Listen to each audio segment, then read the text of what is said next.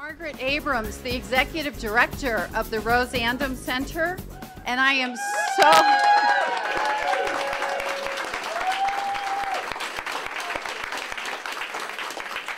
I am overwhelmed at all of you that are here, and I am so pleased to welcome you today and joining us in the grand opening of this wonderful facility. Today is definitely a day of celebration and gratitude. Celebration in reaching this momentous occasion and the remarkable milestone this represents in offering easier access to services and resources to thousands of domestic violence victims and their children as they seek a path towards safety and hope. Celebration in our community coming together to create this fabulous resource in which victims and their children can feel safe, welcome, and valued at a point in their lives where they may feel most discouraged and disheartened. It is certainly a day of gratitude, as this day would not be possible without the generosity, time, and expertise of so many of you that are here today. I want to say a special thank you to the partner agencies of the Rose Andom Center and those of you who have participated in an untold number of meetings over the last decade, dedicating thousands of staff hours to ensure that the partnerships and programs offered here would be of the highest quality and those necessary to best serve the victims in our community. The core partners of the Rose Andom Center over the past 10 years have included Safe House Denver, Project Safeguard, Colorado Legal Services, the Blue Bench, the District Attorney's Office, the City Attorney's Office, Project PAVE, the Coalition for the Homeless, um, the Denver Domestic Violence Coordinating Council, the Denver Department of Human Services, Denver County Court Probation, the Denver Police Department, Denver Children's Advocacy Center, Servicios de la Raza, and Healing from the Heart, among others. So please take a moment to talk to them today about their services and how they are partnering with the Rose Andom Center. Lots of those folks also have name tags. Um, we certainly look forward to a growing community of partner agencies as word spreads about the impact that we can have here. I also want to express my sincere thanks and gratitude to the team at Oz Architects for all they have done to design.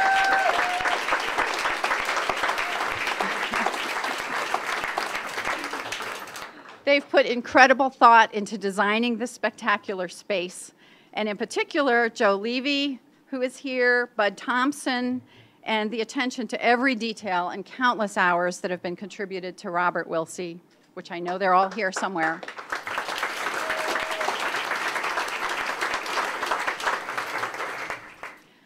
Our general contractor, Milender White,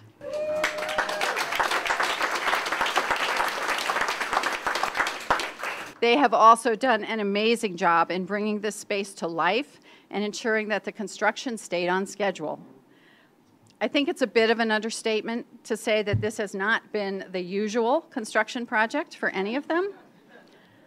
Both Oz and Milender White quickly came to understand there would be added layers of involvement as we tried to ensure that all the partners had input on the design and all of the renovation details.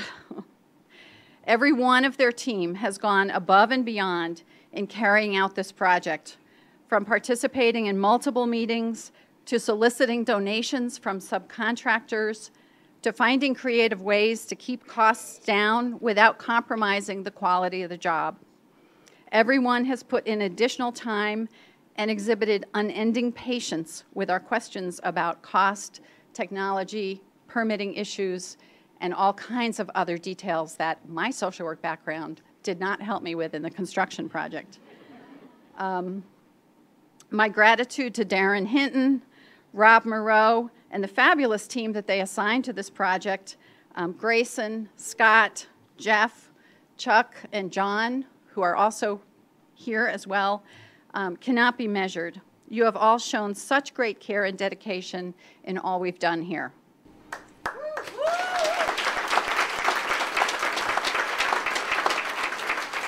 I can't really say that I'm ready to take on another construction project, but if I do, I'm going to be calling you. I'm not doing it without you. Um, let's see, I also want to thank um, Cole Finegan and Sierra Russell for all of the help that they've offered through Hogan Lo- Lovells in shepherding us through a lot of the legal issues and details in making this project work.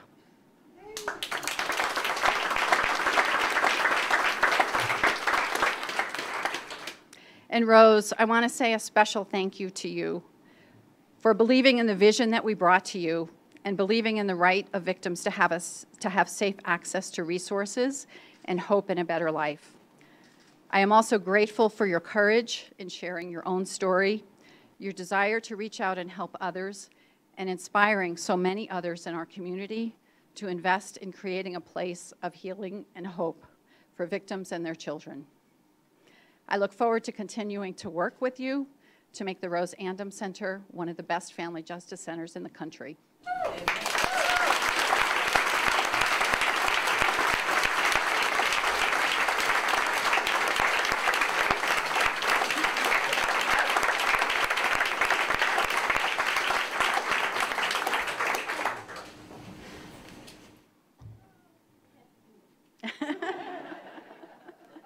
Don't start, Rose. I'm going to be right there with you.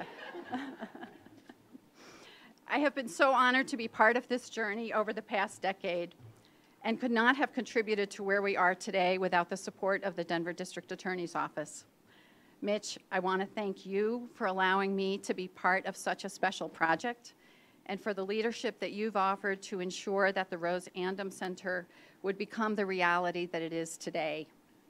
Your willingness to talk to any group at any time about the vision of the Rose Andom Center has generated incredible support from donors, from community members, other service providers, and other jurisdictions.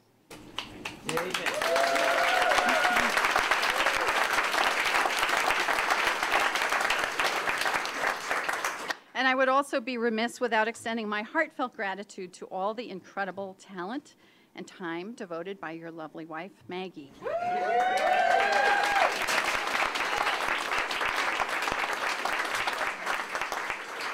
Her knowledge, grace, compassion, and tireless persistence have made everything about today possible. We are also incredibly fortunate that she has agreed to be the inaugural chair of the Rose Andom Center Board of Directors.